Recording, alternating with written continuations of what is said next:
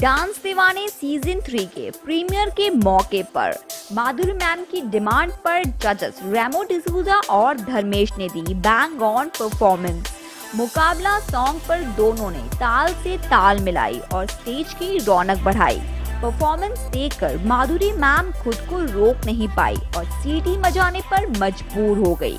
वाकई क्या दिल जीत लेने वाली परफॉर्मेंस दी है दोनों ने। और दे भी क्यों ना जजेस से यही तो एक्सपेक्ट करेंगे लोग।